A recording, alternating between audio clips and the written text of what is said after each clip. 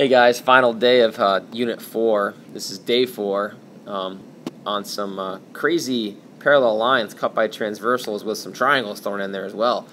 Uh, what I do here first is I'm going to read the question. It says that the measure of angle ABE is 56 degrees. The first thing that we need to do is put that 56 degrees on this diagram.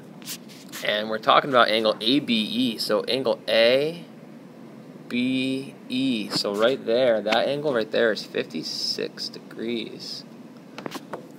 And the measure of angle EDC, so here, EDC, that one is 22 degrees.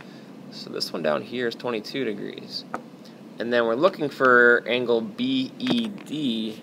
Angle BED is right here. We're looking for this guy right in here. So that's our goal. We have the two labeled that we know, and we're looking for angle X, this one right here. Um, first thing that I would do is I, I notice there's not really a transversal drawn all the way through.